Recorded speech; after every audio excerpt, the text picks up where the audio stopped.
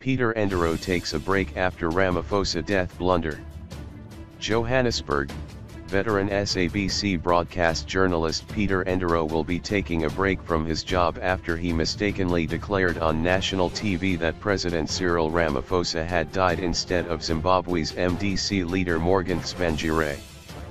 His error follows another blunder in January, when he announced that IFP leader Mangosuthu Buthelezi had died instead of former Bophuthatswana leader Lucas Manyane Mangope. In a statement, SABC spokesperson Kaiser Kganyago said, while the public broadcaster acknowledged that it was human nature, we take the matter in a very serious light, as it is not only embarrassing, but could potentially affect those involved negatively. The SABC had spoken to Ndoro, who indicated that he was fatigued and needed rest.